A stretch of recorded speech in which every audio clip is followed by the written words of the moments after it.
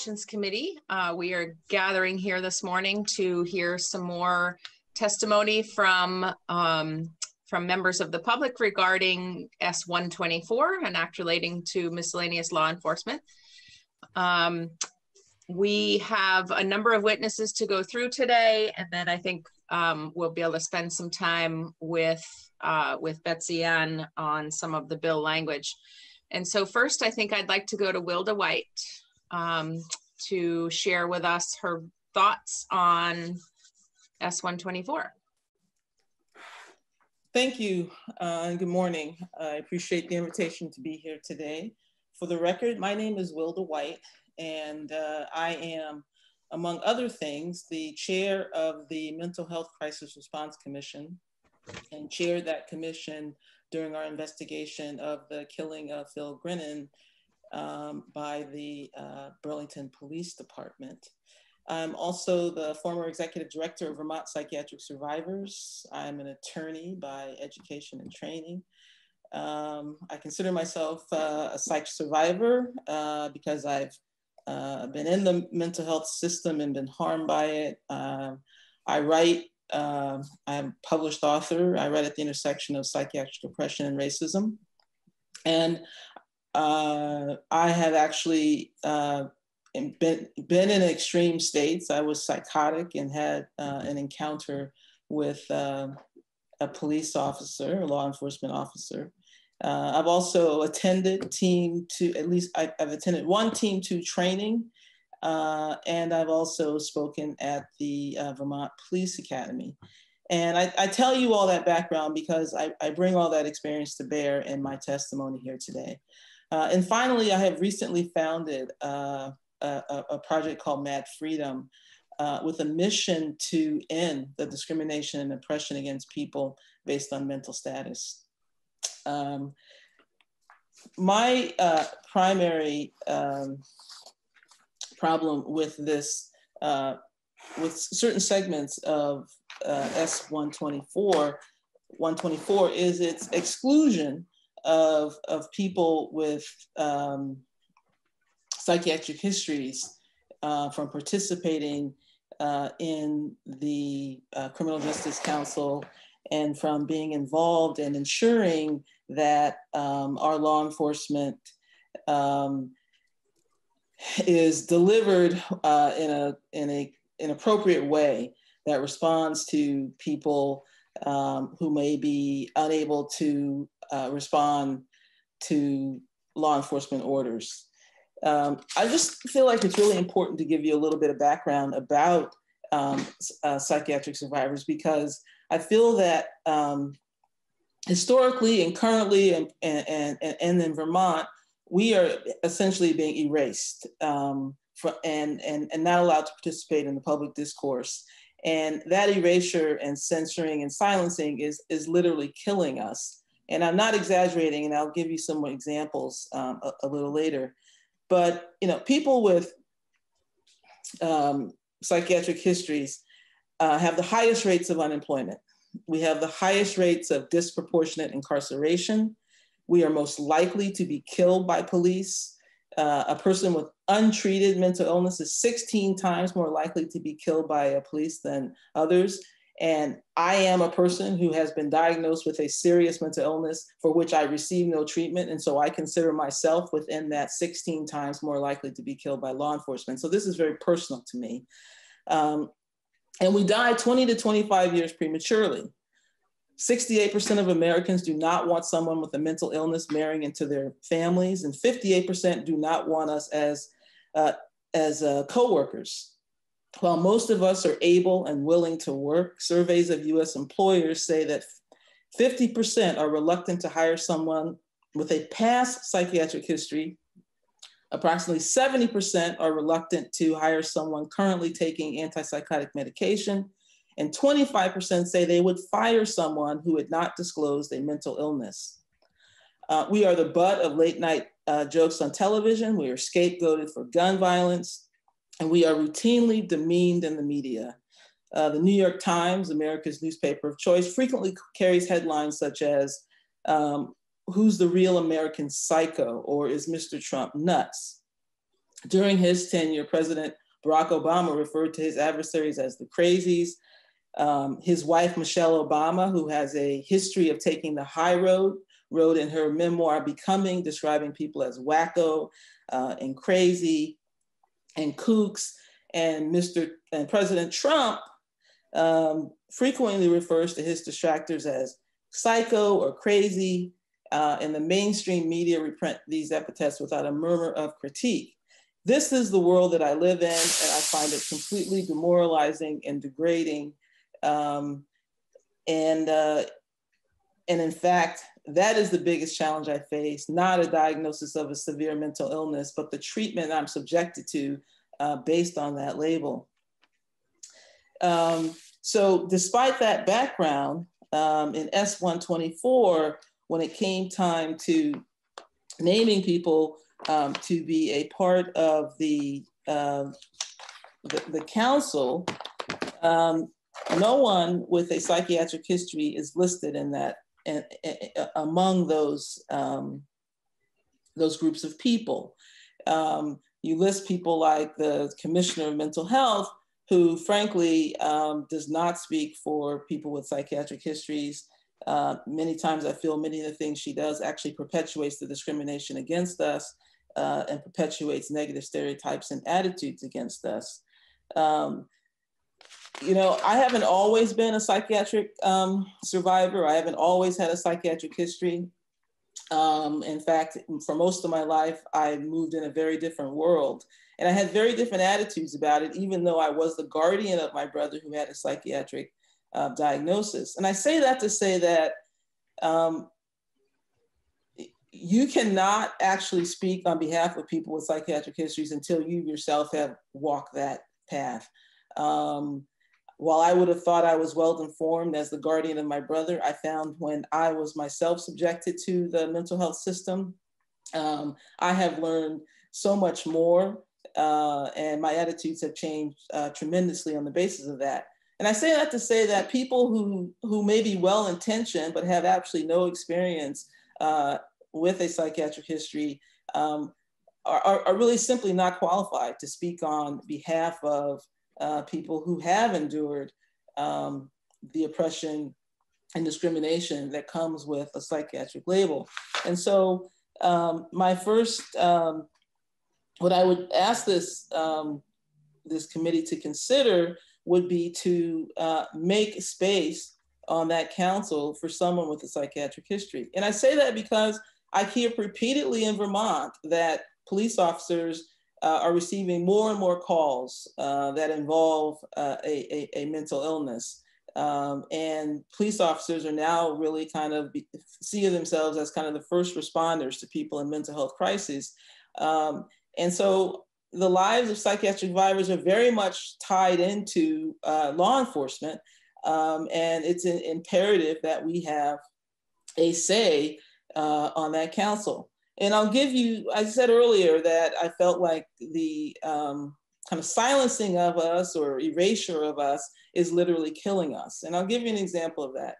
Um, during uh, our investigation of the killing of Phil Grenon, um, the officers made um, uh, his his death. First of all, was completely preventable, um, and it, I feel like it was kind of it was the result of you know kind of an implicit bias against people with uh, with uh, psychiatric histories and also a, a, a real failure of, of, training and education.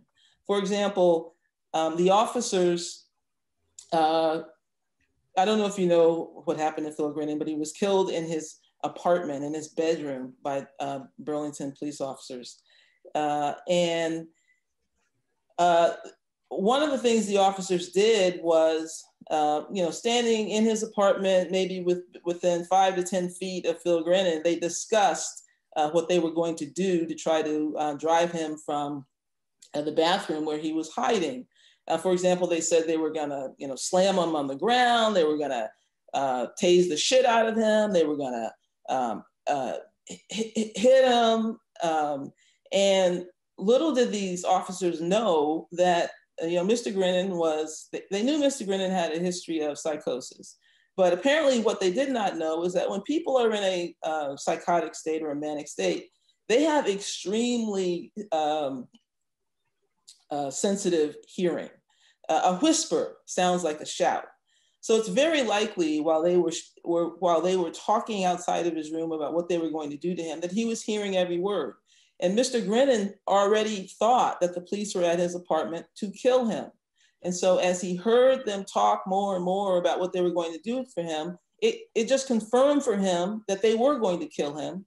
So when they presented themselves at his bathroom door and said, as soon as I see him, I'll hit him while holding a taser, which looked like a revolver, they fired the taser and Mr. Grenon left the bathroom, not because he was um, being aggressive, because he thought he was acting in self-defense. So here again, the failure of these officers to understand uh, the sensitive hearing of people who are in these psychotic or manic or extreme states um, led to them uh, kind of telling Mr. Grenon what they were going to do to him, which, which caused him to leave that bathroom. Um, they also didn't seem to understand the effect of command presence. Command presence is the number one tool by law enforcement officers, but command presence, meaning using a loud, strong voice, um, has the tendency to um, trigger people who are in extreme states. Um, and I speak from personal experience. As I told you, I had a uh, interaction with a law enforcement officer when I was in an extreme state, um, and they didn't seem to know that. Um, and then I also uh, attended a Team Two training, and I was really astounded because in many ways it seemed like, um, and I don't really want to use this phrase, but unfortunately the English language fails me. It seemed like it was the blind leading the blind. Uh, because you had law enforcement and uh, kind of these embedded mental health workers who, who really didn't seem to understand the effect of their behavior on people um, with mental illnesses. For example, during one scenario, the uh, embedded mental health uh, clinician asked a person who was uh, that was uh, acting as if, if he, she were in an extreme state, are you mentally ill? Now, people who are have a history of psychiatric um, have a, a psychiatric history. When we when people when we when people ask us that question, it triggers us because it is a question that tells us you are dismissing me. You are saying that the way I am acting is, um, you know, y- you are. It, it, triggers us that you are discriminating against us. You don't see us, and you are um, dismissing us. And this came from a trained mental health worker. Also, in that training, I heard people use derogatory terms um, to describe people with uh, mental illnesses, and no one corrected them. I heard things like crazy, psycho, wacko, nuts, and no one corrected them. I also heard a, a law enforcement officer who had apparently been sued for using a, and I don't remember, my memory fails me, whether it was pepper spray or taser on a child. Um, and she was in the middle of litigation talking about this case. And she said that she had um, uh, confronted this, this, this person. He didn't do what she said. I think she was trying to have him get out of a car.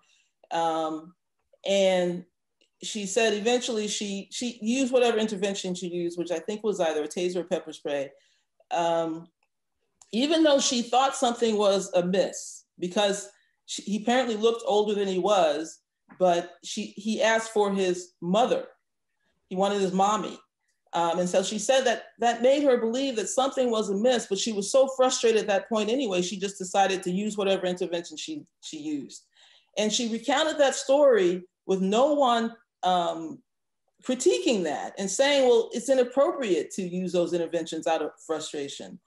Um, and so I, I recount those experiences to tell you that it's attitudes like this where we are not allowed to weigh in that are leading to our um, injuries and deaths on the part of law enforcement, which I hope um, uh, lets, it underscores the importance of having our voice on uh, this council. Um, I mean, in team, even in team two training, um, which everyone just says is, is, is a success, um, I think only because the voices of psychiatric survivors aren't there critiquing it. I mean, we need to be there during these scenarios. We need to say whether these scenarios are actually even, um, you know, if, if, they're really true. You know, I mean, we we we could play the role of the distressed individual. Uh, we could give the police officers feedback um, to improve these interactions. But as it is, it's just people with no knowledge talking to other people with no knowledge and declaring what they're doing a success without including the people who are most affected by it. So I will I, I will stop there. And that's I mean that's really um, uh, what I would say also about um, the provision in this bill where uh, which is section 10A law enforcement recommendations which requires the council to consult with the Human Rights Commission, the ACLU, and quote, other relevant organizations.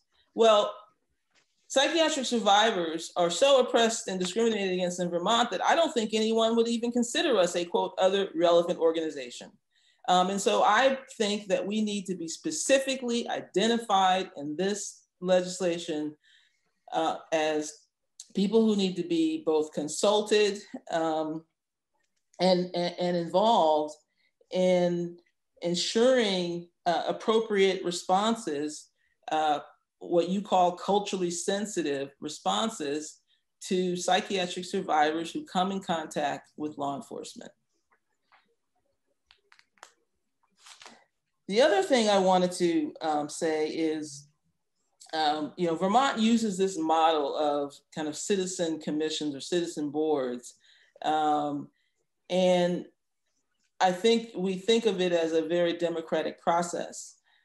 Uh, however, based on my recent experience on the Grenon Com uh, Commission, um, I, I, found it very problematic.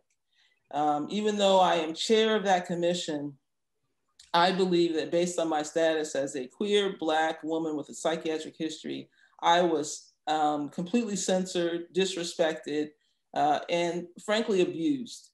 Um, uh, in one instance, I was in the middle of questioning a witness before the commission who was represented by an attorney, and a fellow commissioner took it upon herself to tell that witness that she didn't have to answer my question because she didn't think my question was appropriate. Um, and uh, she called on her other fellow commissioners to join her in censoring me. While none of them did, they were silent, and none of them um, uh, chastise that commissioner for taking upon herself to silence me. Um, and, and, and that I could go on and on. There was one point where I wanted to bring in a certain witness. No one else did. Um, they wanted to know why. And I said, you know, I tried to explain, look, I see things a little uh, different based on my background. I'm Black, I'm queer, I have a psychiatric history. We have different experiences with law enforcement. And that would mean I have a different viewpoint. And the response I got from a commissioner was, you don't have to be so confrontational by mentioning your race. Now, to me, my race isn't confrontational. It's part of who I am. Um, but uh, on this board, uh, people just seem so uncomfortable um, with any. I mean, I think they truly wanted to be colorblind, but unfortunately, you know, my race shapes my experiences. Um, but I wasn't allowed to use my background on that commission to its fullest extent. It was, um, it was a very demoralizing uh, experience. And so I don't think it's enough to say that you put people of different backgrounds on these commissions without also building in some protections uh, to, to interrupt the perpetuation of structural oppression. Because my voice was seriously silenced on that commission I had to fight really, really hard to get that report out with uh, my, my, my voice. Um, other people may not have the same uh, fight in them uh, and may just give up. And so I think you really need to include in these in this format that that's used throughout Vermont protections for that that that minority voice who, to pre- prevent the tyranny of the majority and to prevent the silencing. Because when you want just a majority vote, that minority voice will just get silenced, it will get wiped out. and you just perpetuate the status quo over and over again. Um, and so I, I, really think, and I also think implicit bias training for people who are on these commissions is very important um, because people are just not aware of their biases um, at all. Uh, people have to have a greater comfort um, with discussions around race. Um, and you know, people in Vermont are under practice because are so uh, few races here, and so we need um, even more um, uh, training to to get to gain that com comfort and not feel so uh, confronted uh, by the mere fact that I am a different race. I will stop there. I appreciate your listening, um, and I welcome any questions. Thank you so much, Wilda. Uh, Hal Colston has a question. Uh, thank you, Madam Chair. And thank you, Ms. White, for your very powerful testimony. Um, it really brings to mind for me the notion of not about us without us. And I really agree that a voice like yours should be on the council. So my question for you what would you suggest for the, the, the, most effective process to have someone like your status uh, present on the council?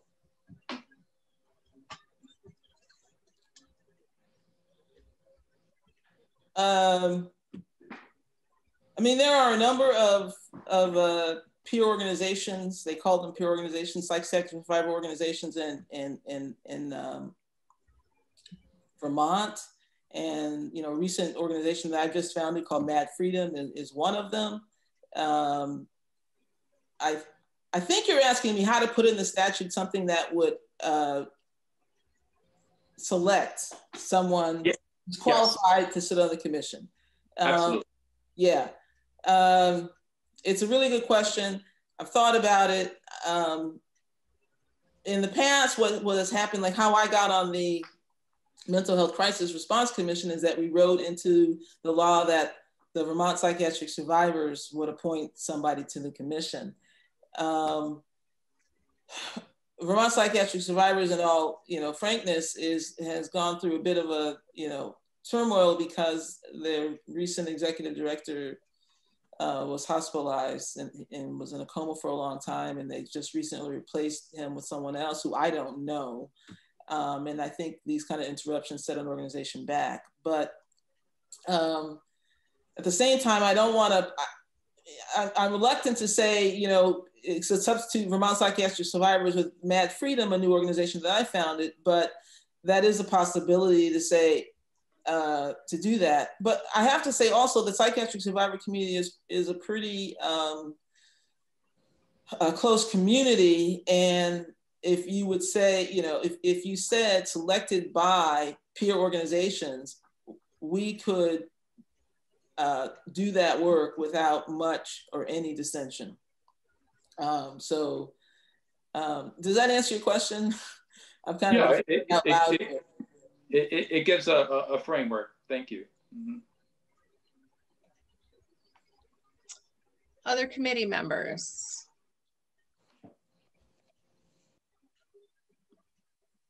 All right, thank you so much for for sharing um, your thoughts and also for sharing some specific uh, recommendations. It's always helpful when uh, when folks have um, uh, specific things they think make the the bill stronger.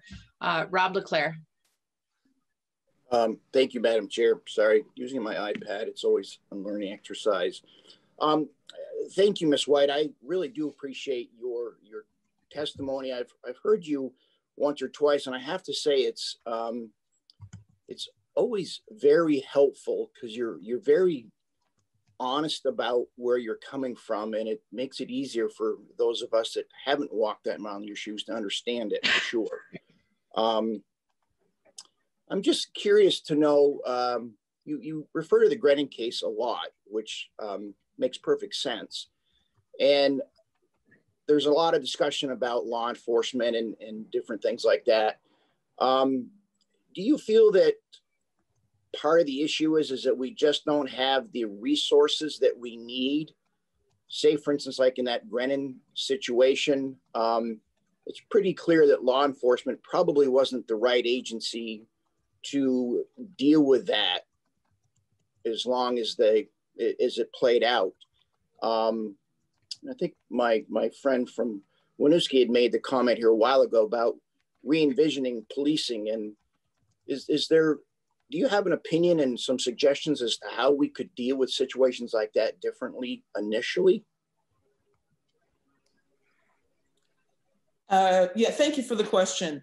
Um, because of the events that unfolded before the police arrived at Mr. Grenon's door, I do believe that the police were the only ones who could have responded in that situation, only because the uh, Mr. Grenon's condition was allowed to deteriorate um, by his clinicians. And so they were actually waiting for him to deteriorate until he came in contact with police, who would then arrest him and take him to the state hospital.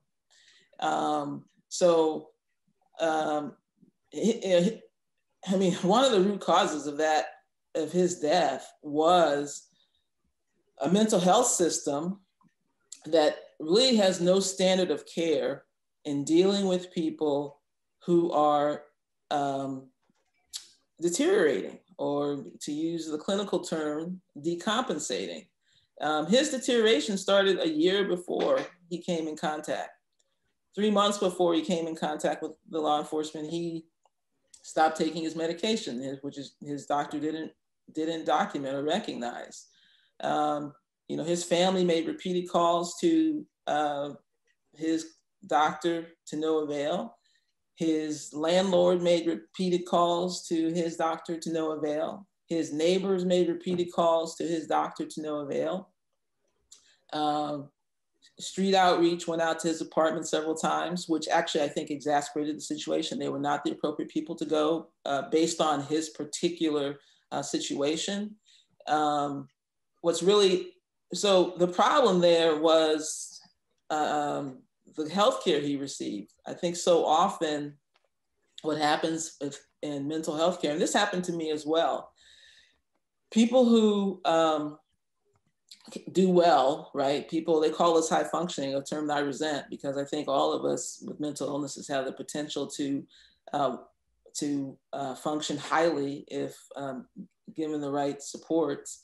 Um, but we get the least amount of care um, because we're not, um, you know, I was psychotic for a year and went to work every day um, I, I, wasn't very effective, but you know, I went to work every day because my psychiatrist thought because I could go to work, I wasn't psychotic. I told him repeatedly that I was psychotic, and he just wouldn't believe me because of the stereotypes about who people who are psychotic are. So what happened in Phil Grenon's case, he was pretty high functioning. He was a very smart guy.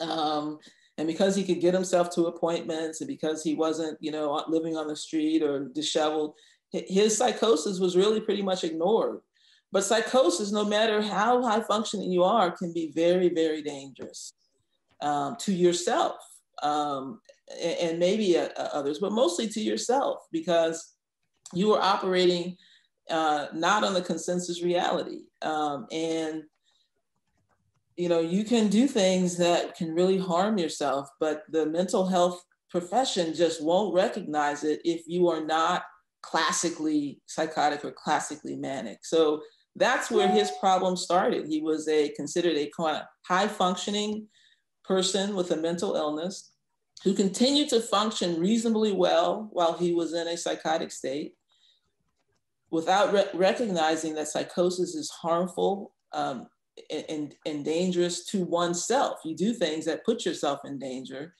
Um, and his, his doctor did not want to uh, involuntarily commit him. He the plan was for him to decompensate until the police had to be called.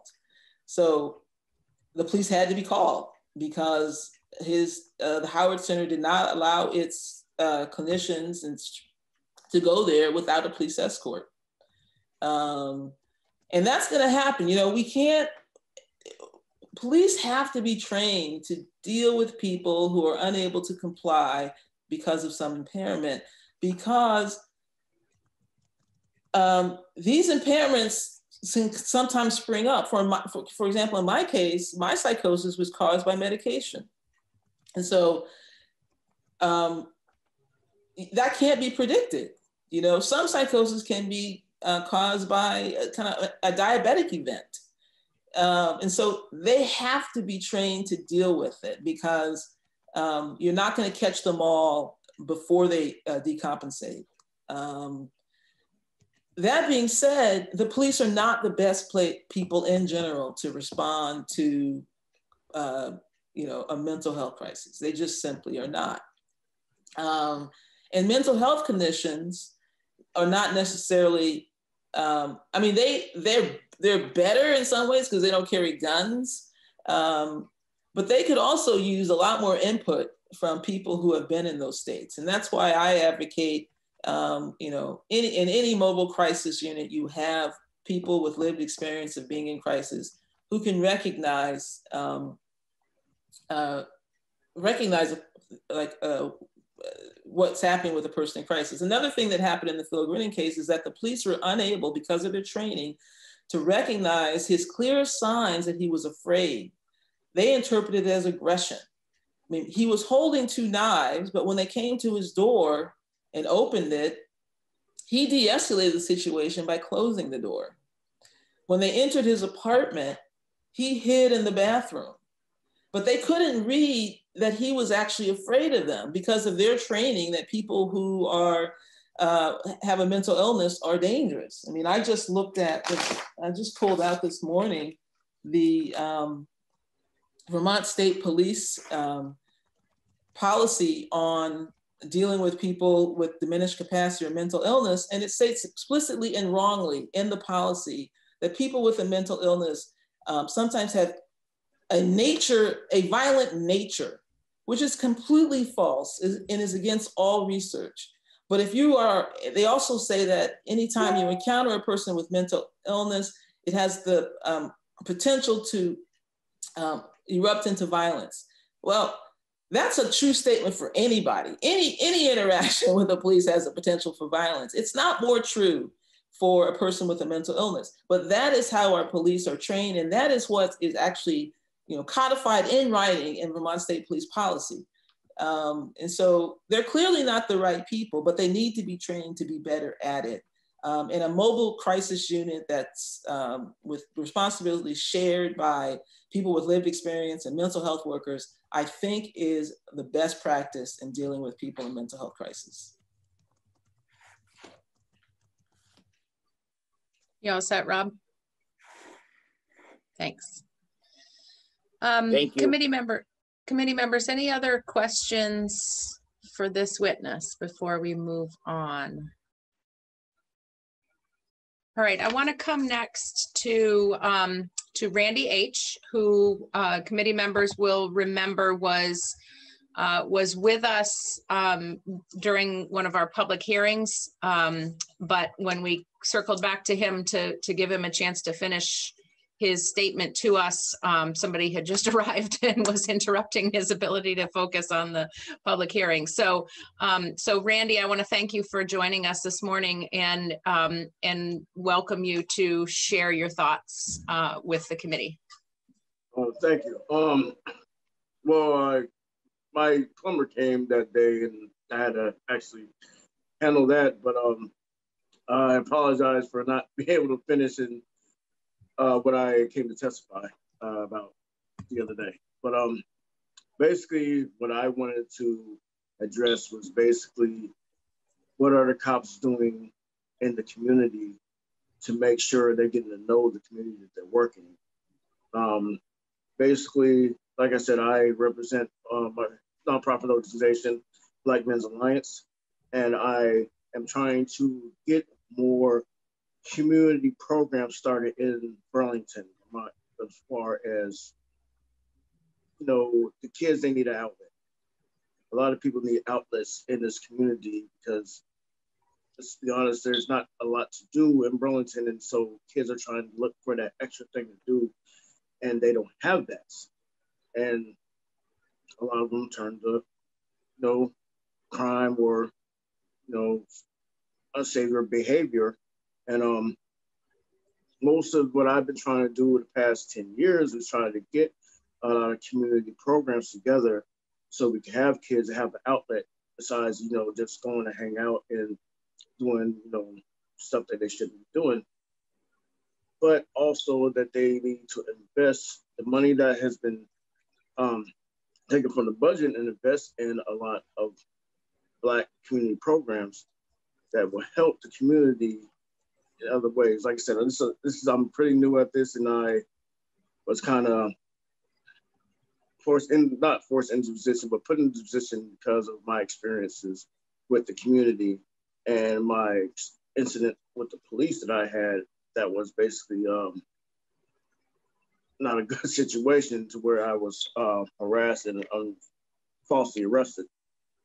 And um, basically, these kids, I, I, I just wanted to testify to find out what their uh, police are doing to involve themselves more in the community.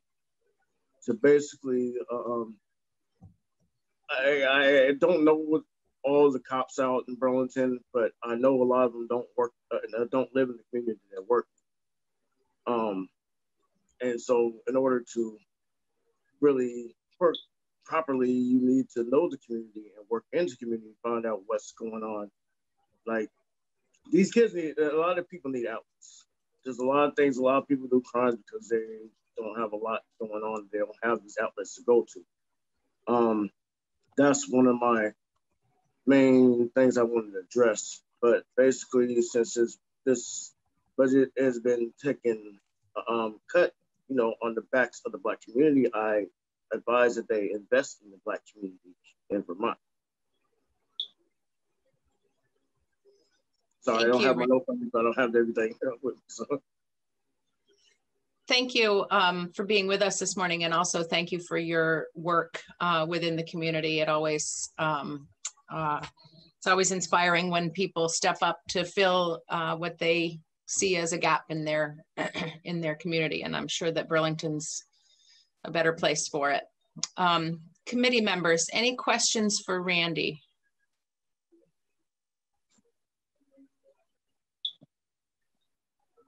Great. Well, please do stick with us, Randy. We've got a few more witnesses to get through today, and we would love okay. to have you listen in. Um, I next, I would like to invite um, Kiah Morris, who is here representing um, Rights and Democracy. What is your title, Kiah? Um, Movement Politics Director at Rights and Democracy Vermont. Good morning, committee. Um, so thank you very much for this chair. My name is Kiah Morris, and I'm the Movement Politics Director for Rights and Democracy Vermont. Um, I'm also a former state legislator and have been involved in advocacy and um, working within and without the law enforcement systems um, for quite a few years now. So um, I'm grateful for the opportunity to uh, comment on many of the different moving parts that are addressing this today. I think it's really important to begin by stating that this, um, we, we recognize very fully how complicated this work is, and we recognize how nuanced we want to move within this work. Um, that being said, what is needing to be engendered in this moment is a deep sense of trust and um, and a, uh, a rebuilding of faith from the public with regards to law enforcement and public safety. That has been a trust that's in many ways for some communities been irrevocably broken.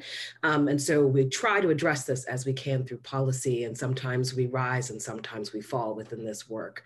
This bill, um, when I first read it, I was pretty stunned. Um, there were quite a few things that really concerned me, um, thinking both from the vantage as a member of the public and as someone who is trying to do this work to create and um, push for critical conversations on how we can uh, have a different way of being in relationship to law enforcement and its engagement with the public.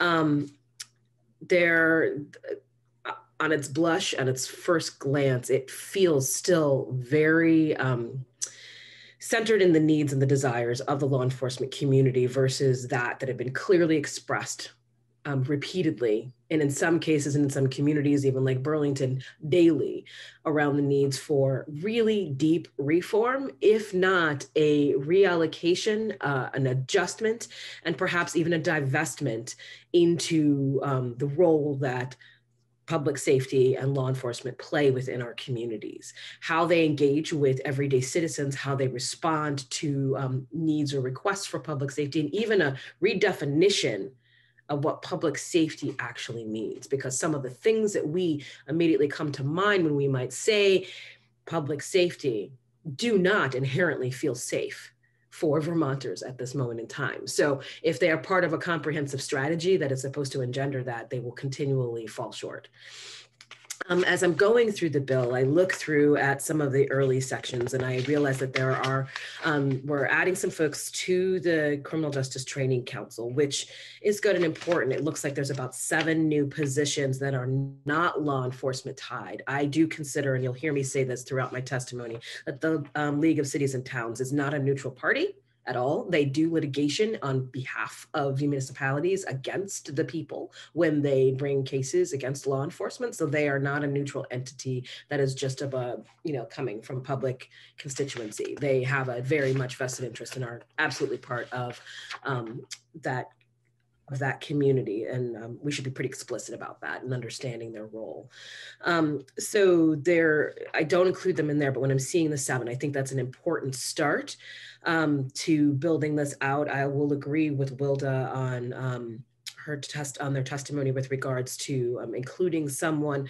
perhaps uh, th there's always opportunities to be a little bit more explicit about what you're looking for and what you're seeking and i know sometimes that feels uncomfortable but this is too complicated for us to leave too much to chance and so we want to ensure that the right voices are at the table um, so i would um, as we're thinking about these potential three other individuals that might come from the governor's office that they somehow um, have a better relationship to the work that's needing to be done. Um, even if they are not coming from law enforcement, there are still really important and key voices that are um, not here.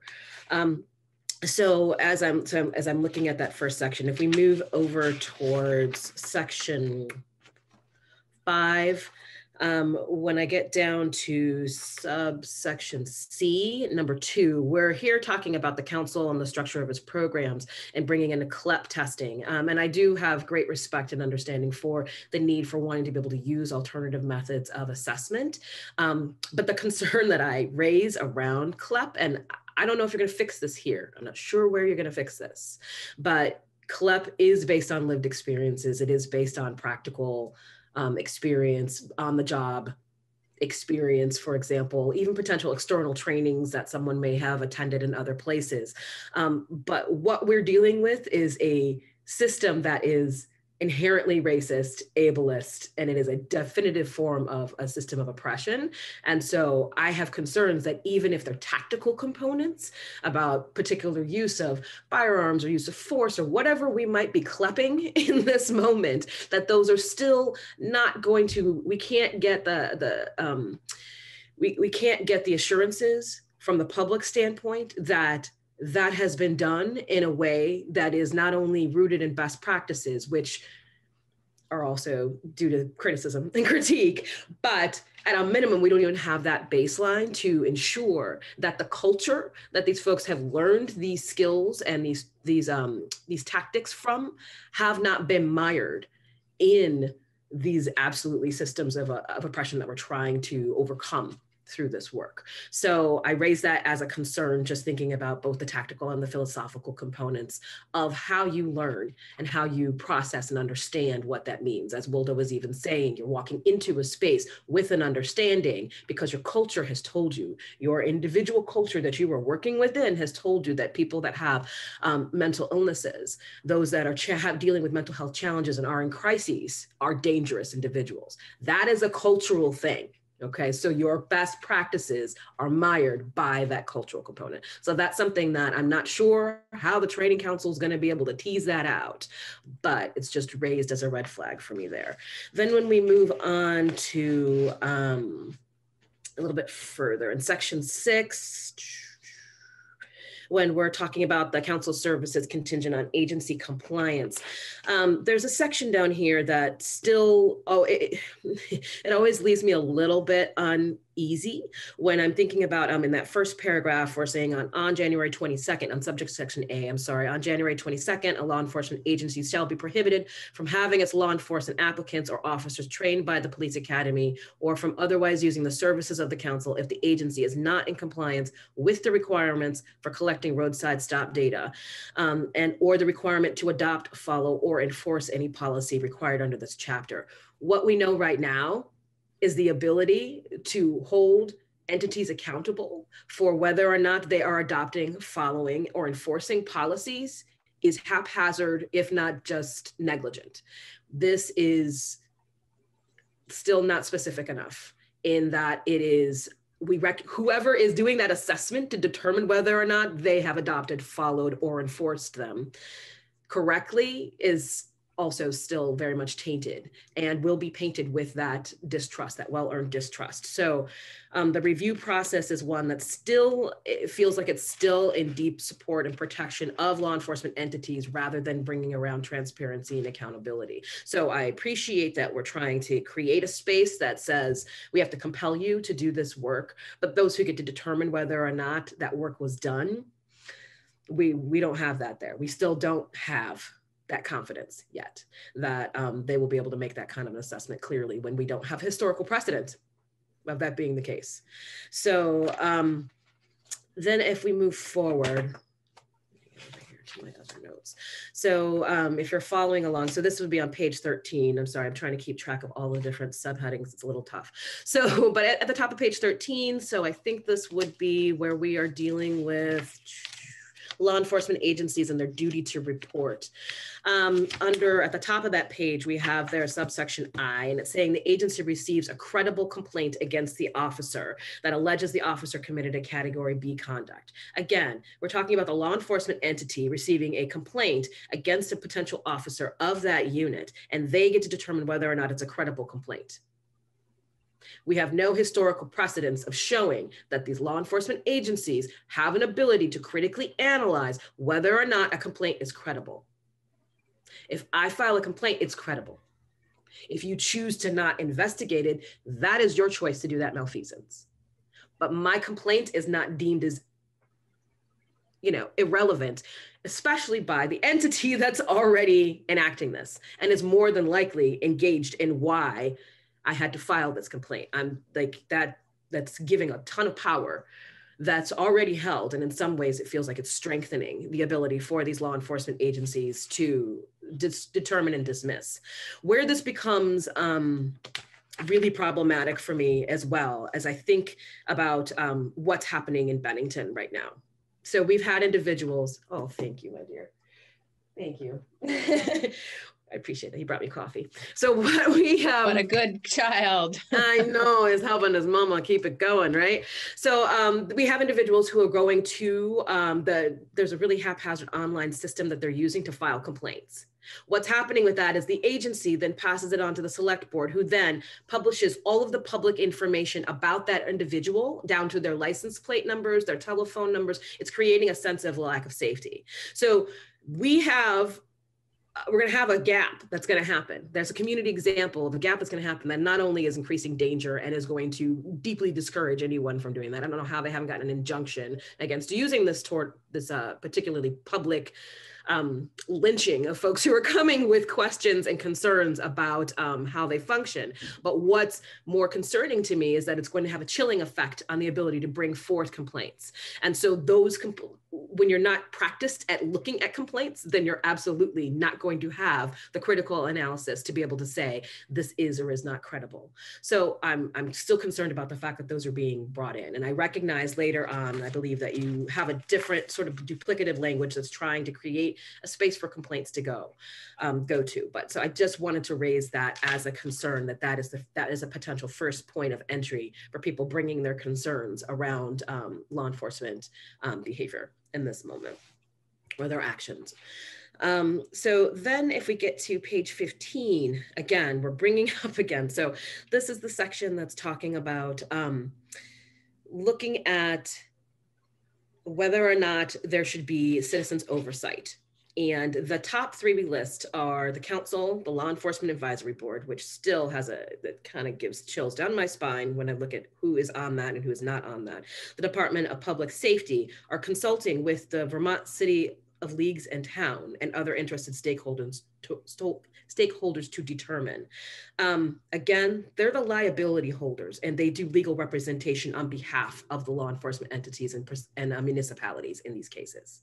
They are given greater precedence over members of the public. They should actually be in that bucket. If everybody else in the public isn't important, then neither are they.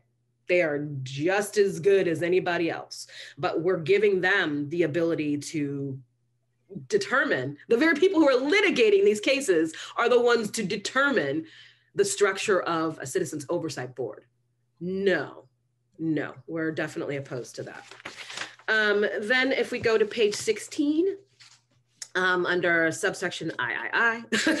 that's again, we have duplication, I think that's happening here, and it's super broad. It says that there should be more flexibility in the residential and field training required of law enforcement applicants, including whether applicants should be able to satisfy some aspects of basic training through experiential learning. So again, I think this is harkening back to the CLEP piece. Um, but again, this is an opportunity for us to get really, really specific. People are coming to you from the public. You are seeing direct data. You are hearing from experts and legal researchers who have looked at this work and have said, these are areas that need to be adjusted when we're talking about um, training of law enforcement. This is the place where you should be explicit to ensure that if that you're going to use experiential learning and CLEP, that it must, there are either things that are included or excluded to ensure for consistency. Does that make sense? So perhaps use of force is not something that if we're saying we're going to get an advanced training and use of force, that that doesn't happen in the field because we need to make sure that it's consistent with what's coming out of the training council. I hope that makes sense. So then if we go to model, the um, next line down, that um, section three, again, as we're looking at the models of civilian oversight, the Office of the Attorney General shall consult with the Council, the Human Rights Commission, the Vermont League of Cities and Towns, and other interested parties to recommend one or more models of civilian oversight of law enforcement. Um, this again, they shouldn't be given greater precedence over other entities within the state, the, the Vermont cities and leagues and towns. Um, they should be relegated to the same status of the public and in that sphere there are opportunities for you to instead look at contracting with groups that are doing this research. Okay, you have a whole law school in the state of Vermont that is looking at alternative models of criminal justice reform. That's your space to utilize that expertise. I'm not seeing them here, and I'm still seeing a very subjective space for what that model will look like. Um, and I'm not sure how you're going to get the information from other interested parties to make those recommendations. Um, again, I know you have very little time, so you're trying to put some things out here, but you actually have an opportunity to come with greater clarity around what your clear intents are with this work. Um, there are a few more sections I have here that I wanted to just mention. Um, so then on page 17 at the bottom, when we get down to number seven, we're talking about military equipment. So um, again, it says, after an opportunity for community involvement and feedback, the Law Enforcement Advisory Board shall recommend a statewide policy on law enforcement officers' use of military equipment what community members are going to have specific information around law enforcement's use of military equipment? Who's going to have that um, ability, even if it was utilized in their personal experience, to recall that information and to bring that forth in a way that will be useful? When we're struggling on some levels to even hear people about the day to day things that are happening in their encounters with law enforcement, that's asking for an onus that should not be placed on us. The bottom line is we need to demilitarize our police. Rights and democracy stands for that work. It is important that we look at that. Um, because what this is doing is it's setting it up for failure. You're not going to get community involvement or input. That's not going to happen, not for this particular topic. Um, so we can say we did something, but then we didn't actually accomplish it. So again, we need to ban the transfer of military weapons to law enforcement entities here and abroad. And um, that's something that even human rights organizations like Oxfam International are also moving very closely to say, why are we sending them to Yemen? But then also saying, don't send them to Yemen, but sure, send them to small town USA. So um, finally, um, the last piece that I just had some either questions or just I wanted to sort of raise out of S124. If you're looking at page 19, that final sentence that comes out of um, subsection B, number two, that very last sentence in there is speaking about um, in order to meet the requirements that the center is going to establish training on a uniform list of definitions to be used in entering data into a law enforcement and agency's system. And every law enforcement office shall use those definitions when entering. Um, again, you have very specific research, you have very specific data to tell you what's not being in there. Get explicit about what's missing that's that that's how we're going to get this forward and move it in an exponential fashion. Um, I also wanted to just make a quick um, comment with regards to the kind of the contrast between S124 and um, the executive order um, 0320 that came out um, not that long ago from the uh, governor's public safety reform initiative. Um, so I, I, appreciate the intent, um, again, of the administration for trying to um, come up with some language to talk about this moment in time and what their commitment is for this work. Um, it's very heavily centered on the 10 point strategy coming out of the Department of Public Safety. And um, I believe that every every community-based organization that's representing marginalized communities has spoken out in opposition to this. So um, we want to be cautious about this. There's a number of pieces in here that are very vague as well um, that I think you're going to have a better ability to tie in here. Um, my so I, I would not base all of your work off of the executive order and continue to refine and adjust this work here um, that you're doing in 124. And, and I don't know that you're going to be able to get everything that's needed in here done before you have to break for this last bit of session, to be quite honest. Um, the last thing to just keep in mind is that the public is needing to build confidence that we're talking in multiple committees. So recognizing that you also have um, S119 that's over in judiciary. And I know you all have seen it, um, but that the work that they're doing there, your definitions need to match. We need to make sure that one won't undo the good work of the other. They're trying to deal with um, use of force, and you're trying to deal with police interactions and um, engagement and what those uh, behaviors happen, what, what, kind of behaviors happen on, on the um, spot. So they need to be well suited to go together. Um, but lean it more towards 119 is my is my ask. Lean it more towards that way, if you mind. So um, those are my thoughts. Um, I appreciate the opportunity to be able to meet with the committee today and to share our um, kind of assessment of where things are going and to let you know that we're here and available to continue supporting your work so that we can do a criminal justice reform that will actually give equal application of the law and justice for all. Thank you, Kiah. I really appreciate the specificity of your observations. It's very helpful um, when someone has uh, actually dug into the language on the page and uh, and giving us specific places where it can be improved. Uh, Hal Colston. Thank you, Madam Chair, and, and thank you, Kiah, for sharing your, your wisdom with us. Um, and I will apologize in advance that if I have to mute. Uh, it's because of the F-35s that are just zooming ahead.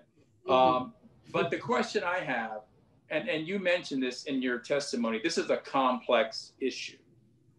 And I agree. So what, what do you feel is the critical path mm-hmm. or, or the very important next step for us to shift the culture of policing so that it's healthy, and it's engaging and, and, and all the positive ways that it possibly can with our community. What, what, what's that critical path for us to consider to begin making this shift of culture? Um, it's difficult because I feel like you're trying to engage on that path right now, but the level of engagement you're going to get from the public is really strained in this moment in time. Um, it almost feels like there needs to be a truth and reconciliation kind of process. Mm. I agree. It needs to totally. happen because um, totally. people are.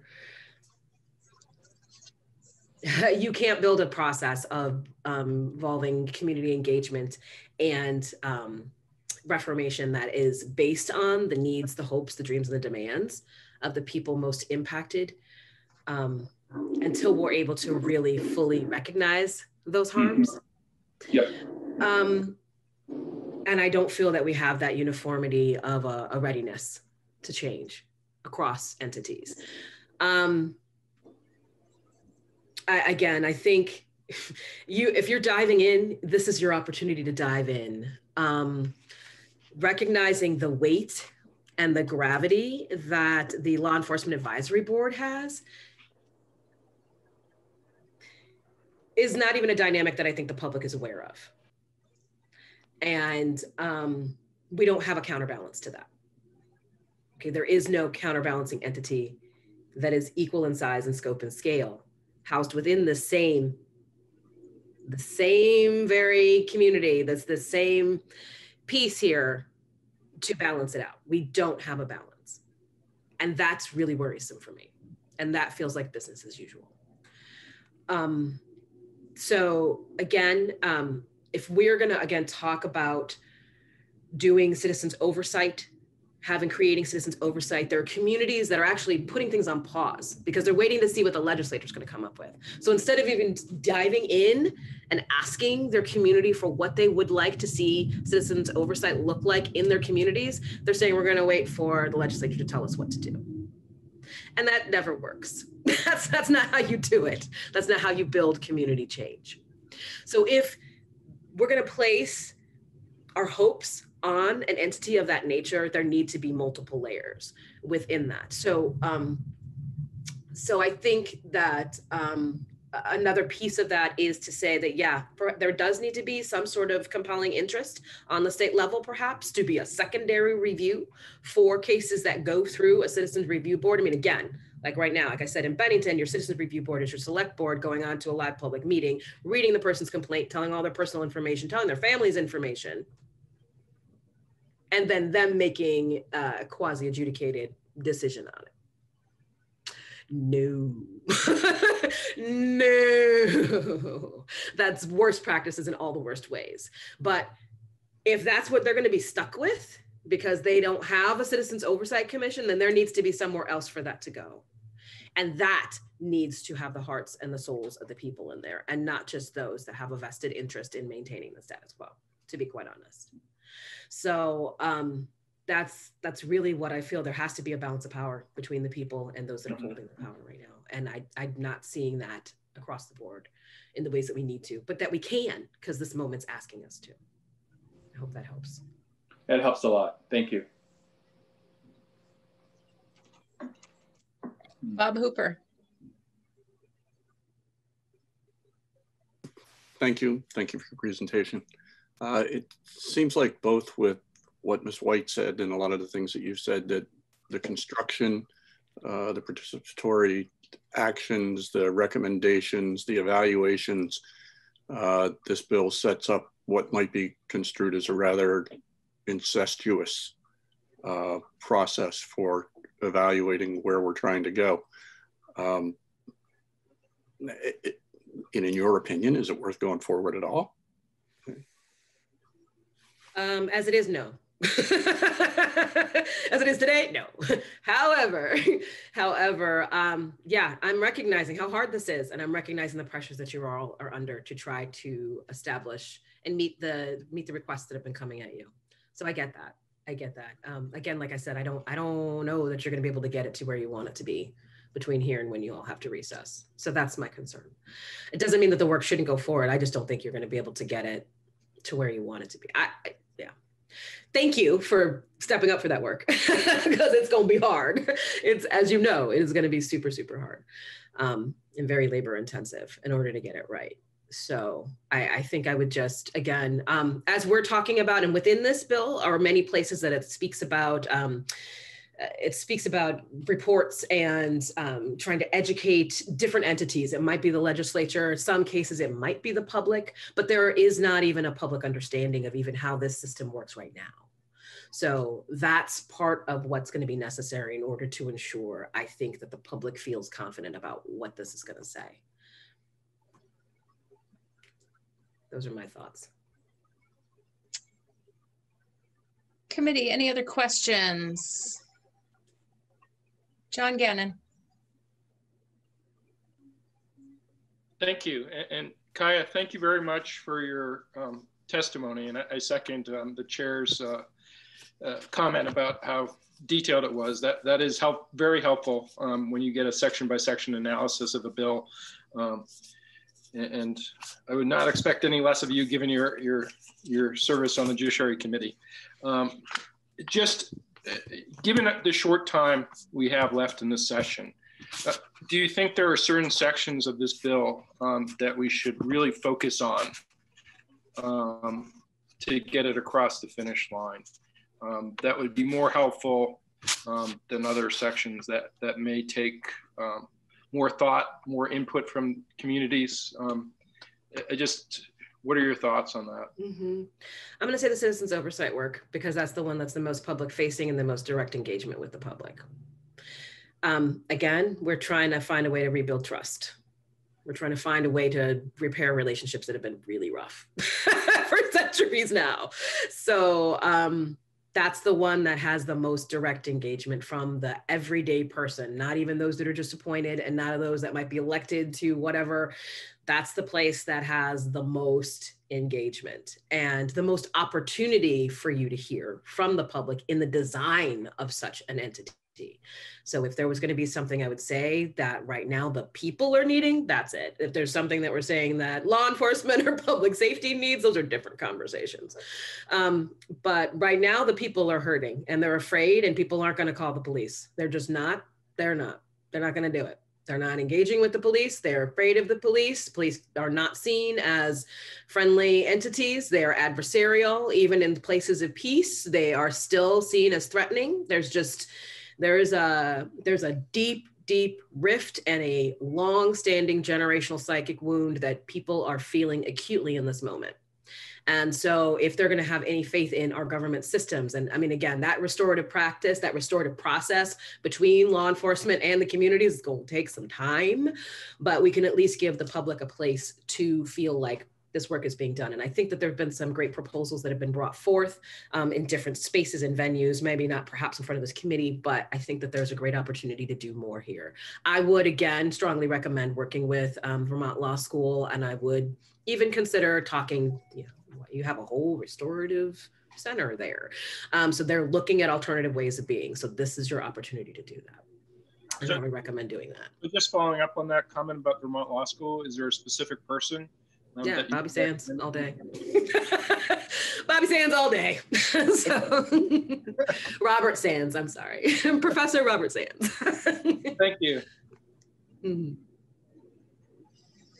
Um, so Kiah, I'm gonna flip um, John's question around and say, uh, you know, my question to you is, are there sections of this bill that you feel are so um, uh, so unready that you would recommend we delay action on them to um, to allow for maybe a, a reframing or refocusing of sections of the bill. And I know I'm kind of putting you in the spot to to go back and review the whole thing um, with that lens, but I've asked that question of other folks as well. You know, mm-hmm. are there parts of this that we that we would be doing more damage if we moved forward with uh, with maybe a half finished or half considered proposal. Um, you all know that I always want it all. So um, I'm like, I want the whole thing. If you're going to pass it, like do the thing. Um, when I'm looking at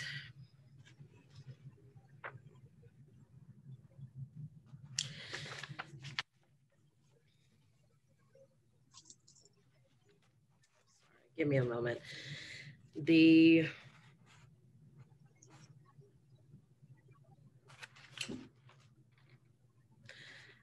um, we would do more harm than good. I think. So my my goal at this moment, after we finished with you, was to give everyone a five minute bio break. And so, can I give us a five minute bio break? And if Absolutely. during that time you come up with um, with with something that you feel sort of fits that category of, hey, this may not be ready for prime time. Um, you can, you can jump in when, as soon as we get back. So, um, committee, I'll welcome you to mute yourself and turn off your camera. And we will be back, um, at, uh, nine fifty. Six minute bio break.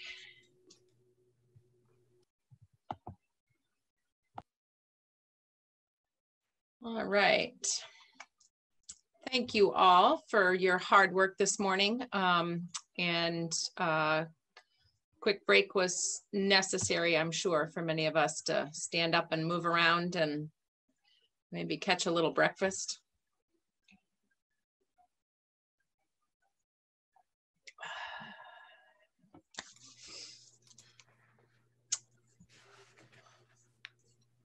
So we uh, we seem to have a critical mass of committee members back. So we'll go ahead and and resume. And um, Kiah, in the moment that you had for a bio break, did you have any thoughts on uh, a section of the bill that you think is so unready for prime time that you would recommend sending it back to the drawing board?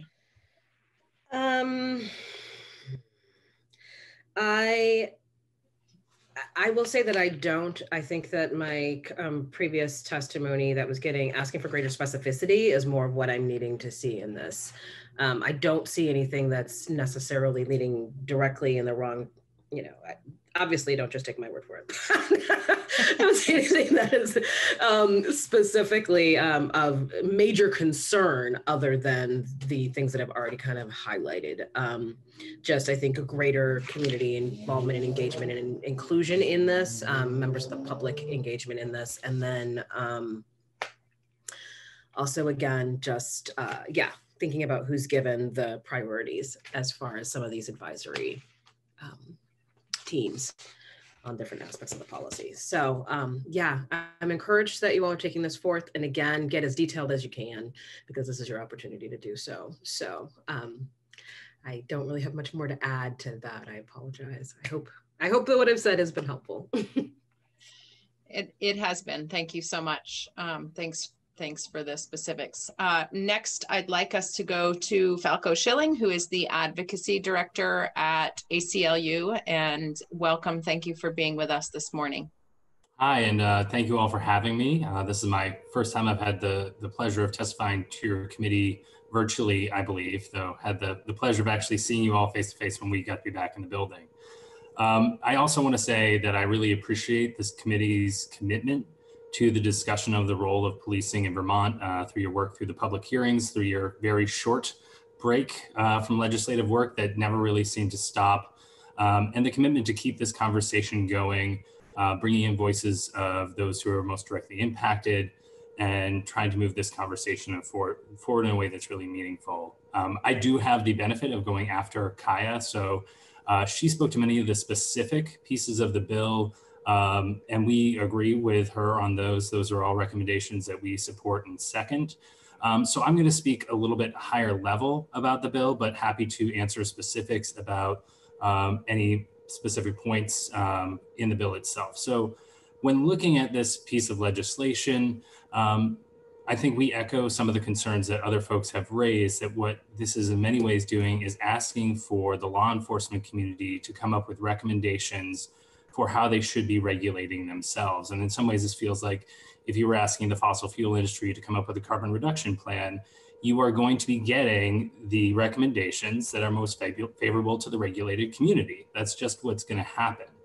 And so there's a number of places where the ACLU is mentioned within this bill as being in consultation with um, the law enforcement agencies or law enforcement advisory board um, who are making these recommendations. And we'd be happy to consult with these folks and offer our specifics um, in the areas of community policing, uh, body cam policy, um, reporting of, of, allegations of misconduct, all these things. But I, I, think what this bill does in many ways is it sets up a process where you're going to be getting recommendations um, from these bodies, and then you'll be dealing with counter recommendations from the community and advocates like us, where it's pretty much setting up this work to happen again in January. So I see this in many ways as a commitment to come forward and have a further conversation.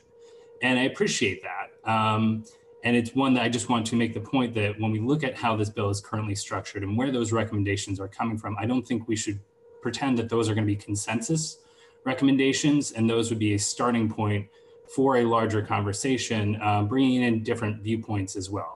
Um, we have some experience with this uh, originally around the, the model uh, body, body cam policy. We were in consultation uh, in the development of that and you know, were very detailed recommendations on how it should be changed. And none of those recommendations were incorporated into the policy. And I'd be happy to share our memo on that and our concerns we raised about the policy at that time. So I think Please as a, do. yeah, happy to do that. Um, and happy to supplement anything from this in writing afterwards. Um, but that is one of our concerns is that when these recommendations will be coming out, they will be heavily favored towards the regulated community, which is in this case, law enforcement. Um, so happy to engage in those. I believe this is section 10 where almost all of these um, studies are, or 10A studies are envisioned. And in many ways, this seems to track the work that is happening in the governor's executive order.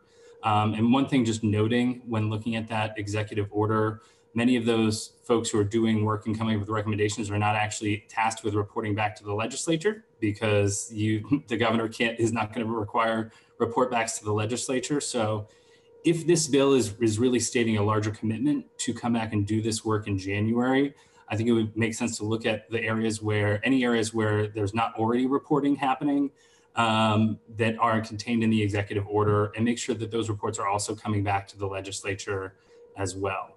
Um, speaking to some of the specifics, one area that we do have a concern is on the body camera policy. Um, when we look at what passed in 219, that required law enforcement officers to be issue body cameras as soon as possible and get them out into the field. Um, and then it also stated an intention that the legislature would develop a statewide policy for body cameras by October 1st, I believe. Um, but this bill says that law enforcement will adopt the model body cam policy starting in January 1st, 2022. So when looking at this bill and the legislation that's been re recently passed, that's an area where we have some major concerns. If the committee is not going to be spending the time now to really dig in on a substantive body cam policy, we believe that really needs to be a priority for the legislature in January. We don't want to be deploying body cameras across the state uh, with every law enforcement officer without having this discussion about what that model policy should be and how it should work. So that is one area of specific concern within the bill. Um, and so I, I, guess stepping back again, um, looking at this bill, I know during the public hearings, you all heard uh, from a number of folks uh, supporting the 10 point plan to reimagine, reimagine policing um, that was uh, collab- it was a collaborative project of the ACLU and a number of other organizations. Um, and so when we look at this bill, basically asks for some studies on about three different points within that within that plan.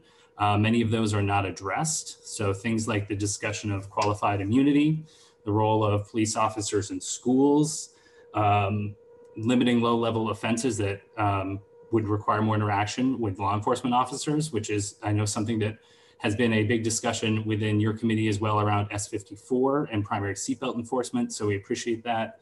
Um, prohibiting the use of new invasive surveillance technologies is another area that we'd like to see more information. I'm happy to just send in the plan with these points, but these are all areas that as we're looking at how do we prioritize our work to reimagine policing, um, that we'd like to be looking at some of these these points as well. So the, the points where it does track is uh, data collection, you know, we need more around data collection, collection and analysis, increased transparency, and citizen oversight. And in terms of citizen oversight, it's another area we're very happy to engage.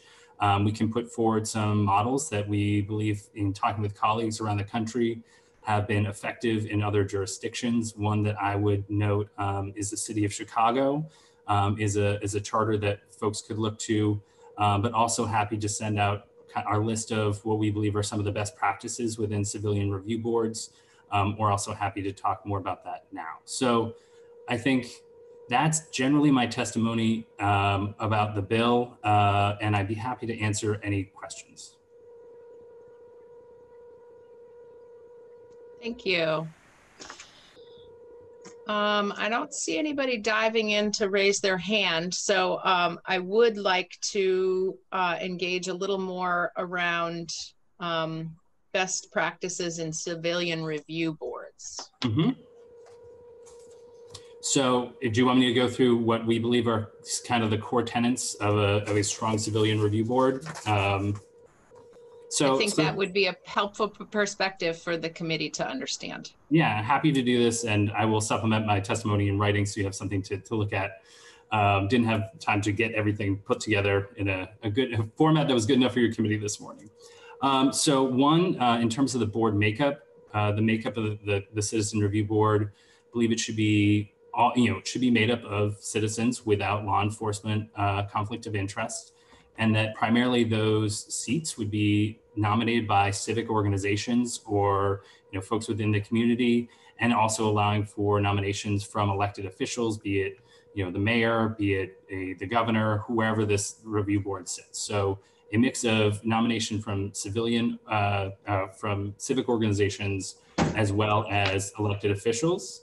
Um, they should have a broad scope to review complaints. So this must be able to review a scope of complaints um, across the spectrum and have the ability to look at you know misconduct and and you know not have a too narrow uh, purview in terms of their oversight. Uh, they should have independent investigatory authority, which would mean that they would have the ability to subpoena uh, witnesses and documents and though largely this board would be made up of, of citizens, they would need to have support of investigatory capacity to actually investigate these claims and fully adjudicate them. Um, they need to be able to make sure that the discipline that they enforce actually sticks. So their recommendations should not be just recommendations, they should be binding in terms of uh, how that they their recommendations are enforced. So it's not just a recommendation for this is the future action that should happen. They have the ability to make actual decisions. Um, and along with that goes the need for due process protections for police officers. If you're giving a board that type of oversight, police officers need to have the ability to contest any allegations, be represented, and, and have their voice fully heard in the adjudication process because those two go hand in hand. If you're going to have that authority, you need to have that equal due process. Um, they also should have the ability to audit practices within the department. So not just be limited to review of complaints, um, but be able to look at the, the practices within a department that might lead to some of these complaints happening and what are some of the underlying uh, issues that could be causing them. And then, you know, one of the hardest ones is these type of organizations to be effective, they need secure funding. And I know this is a, an issue the legislature deals with often where you're you know, trying to set up oversight and or and community involvement, but also not necessarily having the resources there to do it. So that is something that is also necessary is the funding um, for this board to be able to do their work and also be supported by professionals, um, especially in the investigatory capacity and also those that can help them um, with the adjudication of these cases in front of them. And um, finally, I would say public access and reporting. So the public needs to be able to easily access um, these oversight boards, know where they are, know how to bring complaints. Um, and then they need to be able to report out about their work. Um, so regular reports to the public about what they're doing. And then to echo um, Kiah's comments, I think it's also really important that there's protections for the public when they bring these complaints forward. We've also been hearing a lot of concerns about how this process has been working down in Bennington in particular, where people who bring forward complaints are then uh, they're they're put forward and they feel like they uh, face backlash from the community. So um, finding a balance there, I think would be necessary. So those are some of the key components. And once again, I'll submit this all in writing so it's easier to digest. Uh, but we look at a civilian oversight board. Those are some of the key components that um, we think should be present. Thanks, I appreciate that. Um, John Gannon has a question. Thank you. Um, and thank you, Falko, for testifying today. Um, Um, with respect to civilian oversight um, of local police departments, what level should that be at? I mean, because I, I think it's very difficult um, uh, for citizens uh, in a small community, such as the, the, one, one of the ones I represent, Wilmington, which has its own police department, um, to conduct civilian oversight.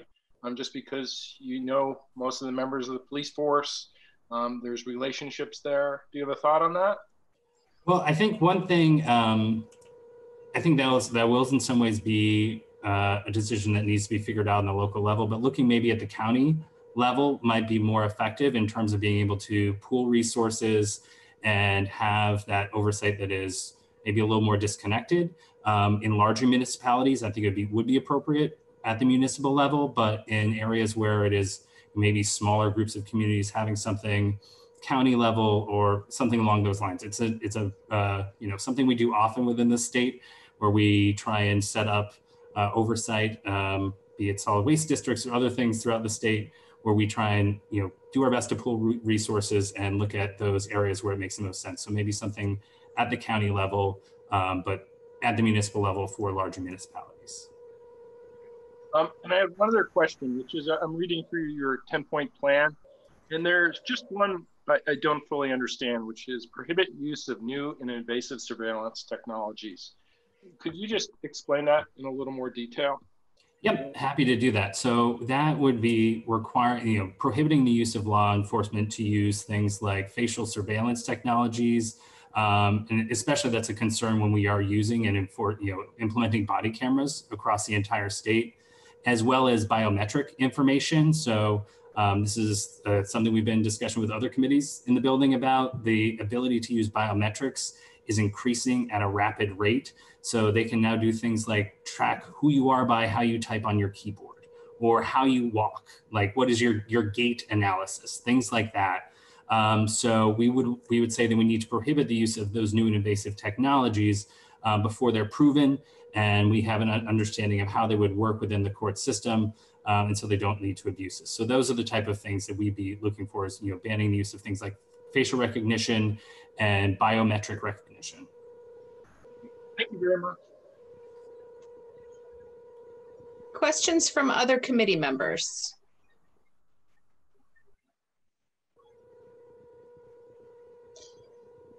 All right. Thank you, Falko. I appreciate you being with us this morning. Um, this has been a, a, a good, robust conversation. Um, thank you for for also following up with some uh, specific testimony in writing.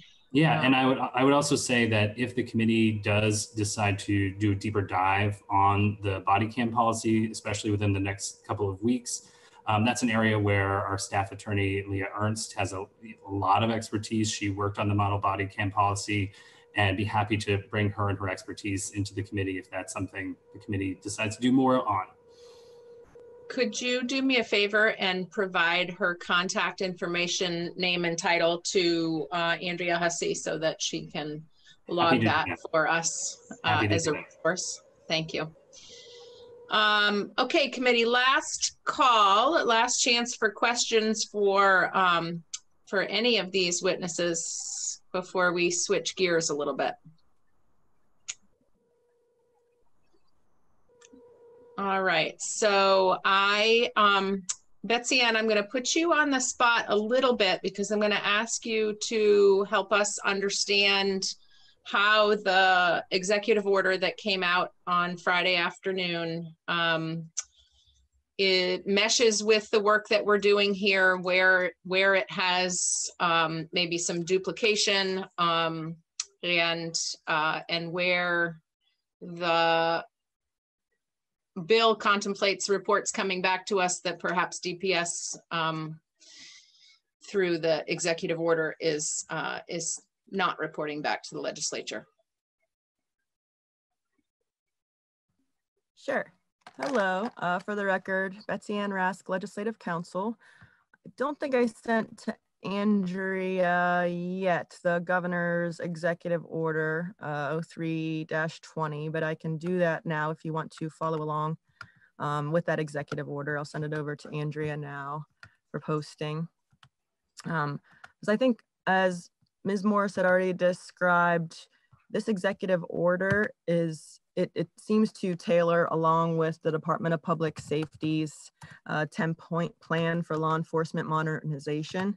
Um, so it, as I understood the um, governor's executive order, it was essentially uh, starting to build information um, so that the administration can make recommendations that would help further the Department of Public Safety's 10-point uh, law enforcement uh, modernization plan that DPS worked on with a variety of law enforcement related groups as well as community representatives. So I've reviewed both the executive order and the Department of Public Safety's 10 point plan to see how it might match or duplicate what's in S124. And big picture, I do think that the executive order, the DPS 10 point plan, and S124 are all hitting on many of the same issues, um, especially in regard to planning for future changes, how to change um, aspects of law enforcement. Think most of, um, let's see, getting back into the order, there are whereas clauses at the beginning and then the resolve starts at the bottom of page two or page one, pardon. And it sets out um, some short-term priorities that the governor is asking different entities um, to look into. And then the second uh, subject is developing legislative proposals for 2021 to make to the General Assembly. At the top of the executive order on page two, um, there is language about um, requiring the commissioner of the Department of Public Safety to participate, participate with the communities in um, coming up with the in um, amending and furthering the 10 point strategy and also the, and the 10 point strategy is essentially how to make changes in the structure of law enforcement um, to uh, assist the public and public safety and to have um, better working relationship uh, between law enforcement and com the communities. Subsection B of the executive order um, is in regard to hiring and promotion practices. And this is also an issue that's discussed in S124 in your uh, section 10A, which is which requires miscellaneous entities to report back to the GovOps committees regarding a variety of topics. And uh, hiring and promotion is one of the first things that your section 10A of the bill would address. Um, essentially how, how to uh, screen law enforcement applicants and um, choosing the most appropriate law enforcement applicants.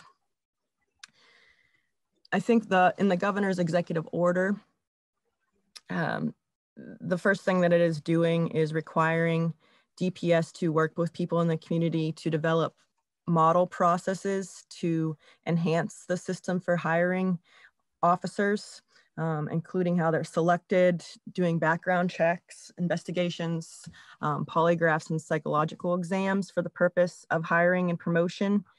And it requires by the end of this year, the Commissioner of DPS to consult with the Commissioner of Human Resources and the Executive Director of Racial Equity to develop initiatives to reach out to a more diverse hiring pool.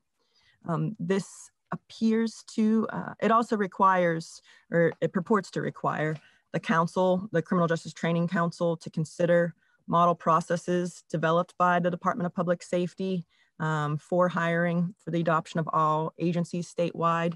And just a reminder, the council is an independent entity, but there are many gubernatorial appointees that serve on it. Um, but I think the overall idea is for uh, the council to consider recommendations regarding um, law enforcement hiring and to um, somehow embed those uh, model policies for hiring into what the council does in training. So I don't think that those efforts are, those efforts are on this, there's two tracks. There's what the executive order requires that the Commissioner of Public Safety to do, but it's also repeated in um, S124 on page 15 in your section 10A, um, subsection one about law enforcement officers qualifications. So I think that the result in this area is that there will be two different groups looking at the issue of hiring officers and how to screen law enforcement applicants.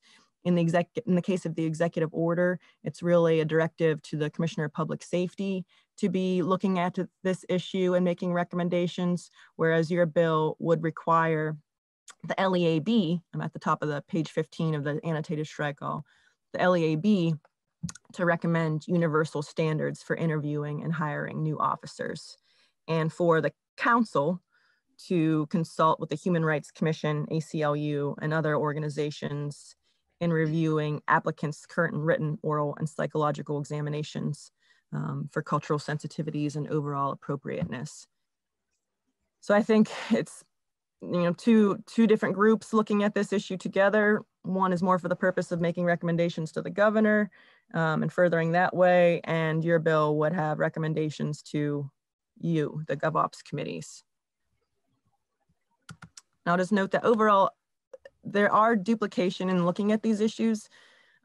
So it'll, it'll, I think it'll be up to this committee to decide, you know, if you want these variety of people looking at these issues and reporting back both to you and the governor in order to make further recommendations, or whether, you know, you would not want to pursue some of the recommendations in your bill.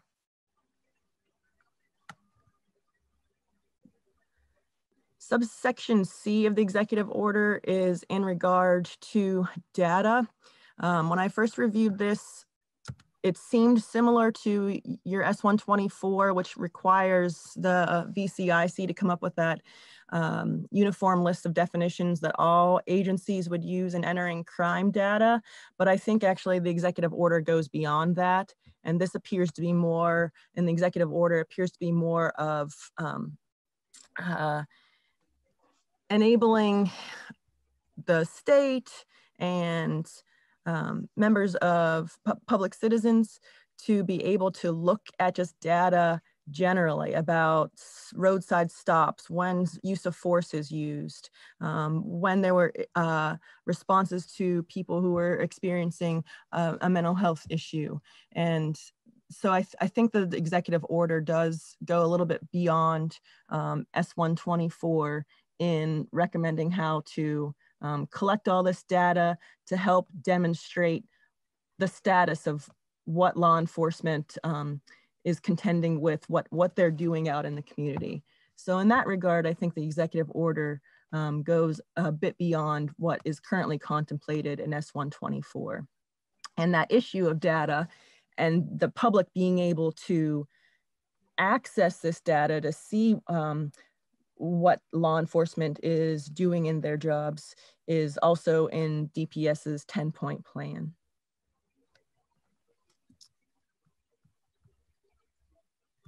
Back to the executive order in subsection D in regard to body cams. Um, the governor appears to be making a statement here that the governor is hopeful that at some point in the future, all law enforcement agencies will be required to use body cameras in their work. And in, with that understanding, the executive order would require the commissioner of DPS to uh, make recommendations in regard to how those body cameras are used and develop to develop a model policy that's considered by the Criminal Justice Training Council um, for all officers to use when they're um, when they use their body cams. So there is there's different aspects of body cam um, provisions in the bill you've already passed S219 and then in S124. In S219, um, that bill, which was enacted into law, contained the requirement for all officers under the Department of Public Safety to use body cams. And there was language in that bill saying that the General Assembly plans to uh, come up with the principles of a body camera policy. Here in the executive order, the governor is directing the commissioner of public safety to propose a model body camera for the council, for the council to um, develop a model, uh, model, model body camera policy.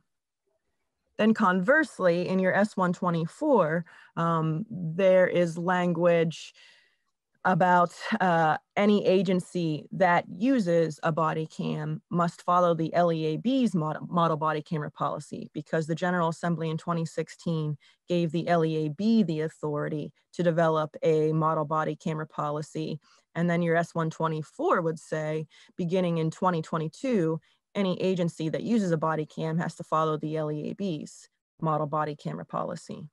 So we've discussed this before. That is one area where the General Assembly, it seems, should determine um, what role you'll, you will play in um, requiring any specified elements of a body camera policy. Because the General Assembly has the final say in enacting law um, as to who will hold that authority. So if you do want to come up with at least certain elements that any body model body camera policy will need to contain, that was some that is something that you can legislate. Otherwise, I think this committee will need to decide um, who should have the model body camera policy authority. Should it be the council or should it be the LEAB? And what, if any, elements will you require yourself? John Gannon has a question. Thank you. Um, so is, is the language in the executive order around body cameras inconsistent with legislation we've already passed with respect to the LEAB um, model body worn camera policy? It at least seems to conflict in part in that the LEA, uh, the General Assembly in 2016 gave the LEAB the authority to come up with a model body camera policy Whereas this language in the executive order is directing the Commissioner of Public Safety to recommend to the council a statewide model policy on body cameras. So I do, I do see that as at least somewhat of a conflict as to who should be holding the uh, authority to come up with a model policy. So, okay, thank you. That's why I thought that there was an inconsistency there. Thank you here and just I think that um, there will need to be some legislative action in this area because um, if you're going to if if you're going to require agencies to use a body camera policy um, and if the ultimate authority is given to the council to do so, I, I do think that the council chapter is going to need to be amended to state that explicitly so there's no confusion over the LEAB's current policy and um, what, if any, significance that has. And also, um, another thing um, is just thinking about to what extent there needs to be legislation on this or any of these areas. Um, because the council does have rulemaking authority to um, an general authority to establish certain training requirements but there won't be a requirement for all agencies to uh, I, I, don't i don't foresee there being a requirement for all agencies to um, you follow a model body camera policy unless the general assembly states that explicitly so that it does apply to all law enforcement agencies. So that definitely looks like an area that needs further legislative review and decision making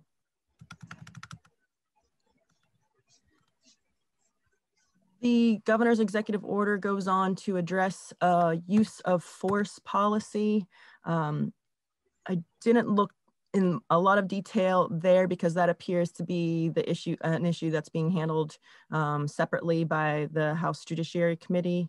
Um, but there is language in the executive order um, that requires the commissioner of DPS to consult with others to develop for the council's consideration a statewide model policy on the use of force for all officers and agencies.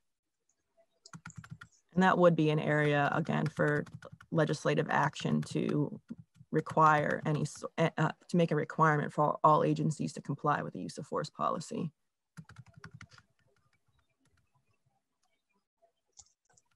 Back in the executive order in subsection F, this is in regard to training.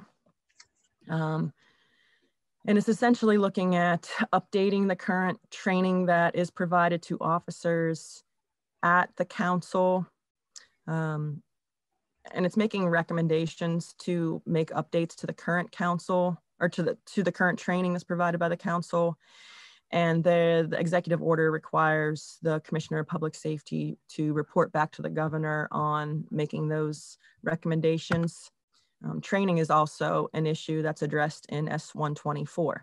Um, and on page 15 in subdivision two of your section 10A, um, the bill addresses law enforcement officer training. It requires the council to consult with others in reviewing the current training requirements and making recommendations on uh, what should be changed in that training and whether it is uh, appropriately reflecting the needs of the community.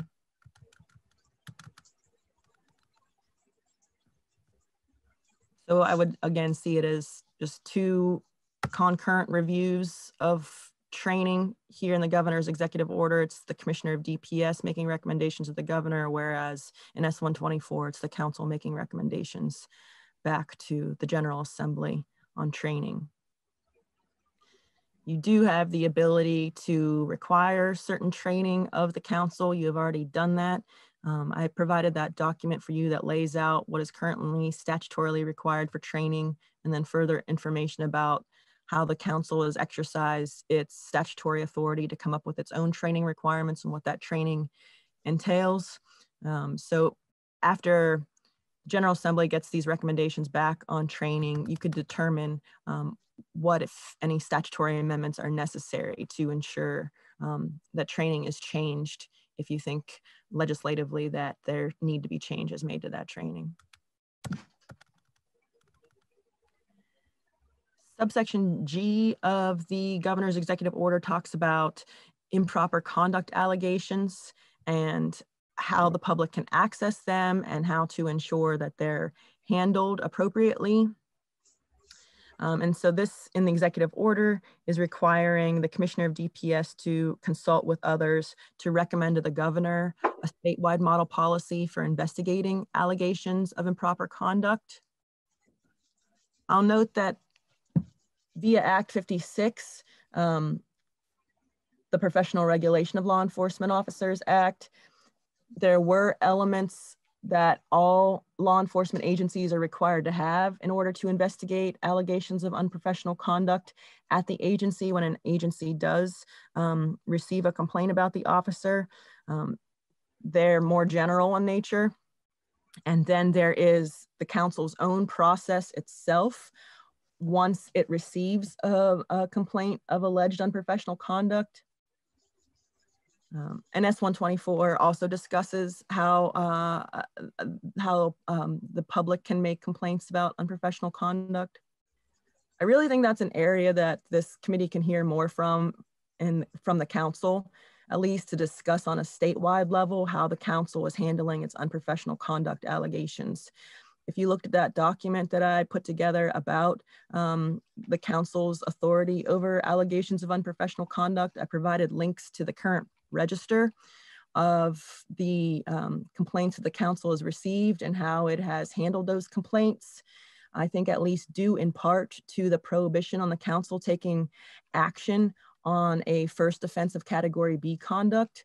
Um, there have been no charges of law enforcement officer unprofessional conduct since the um, provisions of Act 56 took effect in 20, 2018.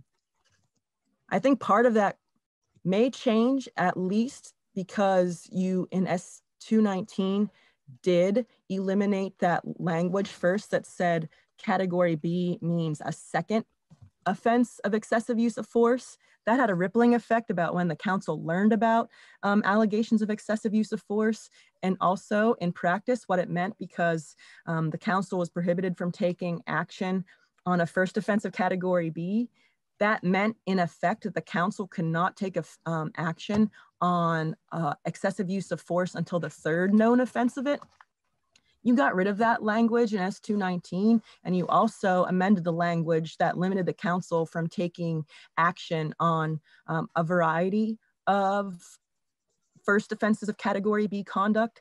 So I do think that that will have a substantive effect on the council's authority to charge and um, find that an officer committed unprofessional conduct. But I, I do think this would be helpful for this committee to discuss with the council how it is handling the allegations of unprofessional conduct, um, particularly because there have no not been any charges to date that I'm aware of, at least according to the register at the last time I looked at it in August.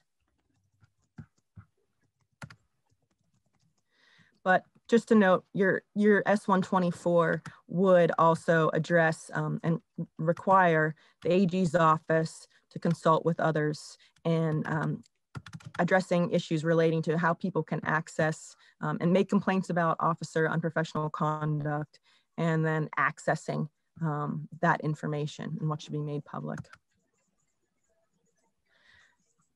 Then the um, executive order goes into developing legislative proposals for 2021. Um, here, this, as I understand, the governor's executive order is um, directing um, or directing there, that there be recommendations made to the General Assembly in the future um, next year. And the first one is um, making a recommendation about universal reporting a universal reporting portal for improper conduct allegations. We've discussed before that right now, the main portals for um, making complaints of officer unprofessional conduct are to the officer's own agency and to the council. And so this would, um, the governor's executive order would require um, there to be a recommendation on a universal portal for reporting that. And S124 also requires a report back um, there's also a recommendation um, for a directive to make recommendations regarding use of force, um, investigations and review. And as I, under, I read the executive order, um, the commissioner of DPS would recommend to the governor um, a statutory mandate that um, uh, for reviewing um, when lethal force is used by law enforcement um, and that they those uh, that lethal use of force be reviewed by the state police's major crime unit um, that would be an issue that the general assembly would need to statutorily enact and that's what i read the executive order to be, to be doing to, um, for the commissioner to make a recommendation to the governor on um, potential legislative amendments in that review of lethal use of force and then also the final, the last thing in the executive order is for the commissioner of DPS to recommend to the governor one or more models of civilian oversight and then propose a statutory framework for uh, oversight by um, the community. And your S124 would likewise require that same thing for um, the AG's office to, I believe, yes, um, to consult with others in um, uh, to make recommendations to the General Assembly of models of civilian oversight. So again, it's a two different uh, entities making these recommendations for a legislative consideration. Um, I think it's just up to you to decide whether you only want one of them to do so via the executive order or whether you would prefer to um, have others do that also um, so that you can compare any differing proposals. So that is an overview of the executive order. Thanks, Betsy Ann. Um, committee, do you have any questions for Betsy Ann on, um, on the alignment or differences between the executive order and what we're looking at here? John Gannon.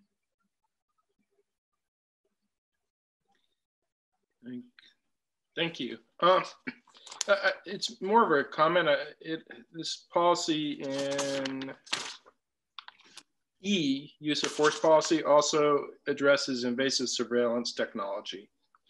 Um, and it, interestingly, it says it shall be the policy state that these technologies and techniques shall not be adopted by a law enforcement agency without express, express authorization under state law.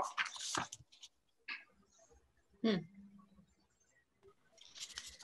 The governor, I, I, I, don't know if this is what you were um, referencing, but the governor by executive order can only control the agencies under the office of governor. So that, that might have been just a general statement um, by the governor uh, that that is the hoped for policy. Um, it would take a statutory amendment to um, make any requirements regarding those technologies that would apply to all law enforcement agencies, including those outside of the Office of Governor.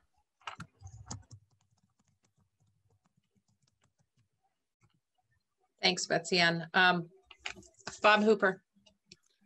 So just to be clear on the hierarchy, um, if something is passed into law, the governor does not have the option of modifying it even for the supervision of the agencies within administration that would exceed the parameters of the law? The governor cannot require agencies under the office of governor to um, do things in conflict with the law. General Assembly holds the lawmaking authority. The executive branch is to execute that authority. But in the administration of the law, the governor is able to uh, order agencies under the office of governor to um, do things in furtherance of the law. So as long as it doesn't conflict, um, the governor is authorized to direct his agencies to do something beyond um, what the law requires, so long as it doesn't conflict with the law. It doesn't diminish? That... Or diminish, right? Yeah.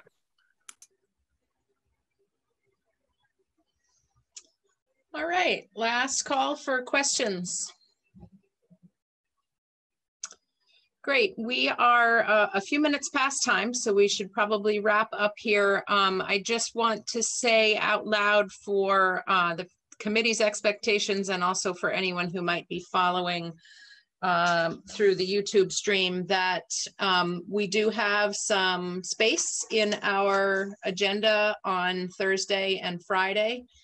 Um, we will be filling that space with folks who express an interest in testifying on the various aspects of the bill. Um, and so uh, just for expectation, I think we are going to try to focus on um, some of the perspectives of local law enforcement agencies on Thursday and um, and keep it more wide open on Friday to hopefully speak with DPS and the Criminal Justice Training Council, among others. So um, now is the time if entities are interested in testifying, if they believe they are impacted by this, or if they have a, a perspective they'd like to contribute to any section of the bill um, now is the time. And you can find Andrea's contact information on the GovOps page um, and feel free to make a request to testify. Um, I believe the Speaker's Office has granted us um, four committee meeting times next week uh, as well. And I, have asked that they be the same as, uh, as they were um, for this week and last week, just for consistency's sake. And so uh, to the hardworking and talented Government Operations Committee, we will continue working hard on this uh, next week, but we do need to uh, we do need to finish hearing from different perspectives so that we can get to uh, looking at final bill language. Um, so questions from committee members? So I want to thank everyone who uh, who was with us today. Thank you, Randy, for for being with us. Feel free to submit anything else that you'd like to um, electronically through Andrea, and she can certainly share that with us. Um, and uh, committee, have a good day, and we'll see you on the floor this afternoon. I would need to get her contact info. Okay, so let me um, let me ask Andrea to reach out to you, Randy, and make sure that you have um, uh, a way to contact us. Thank you. All right. Have a good day.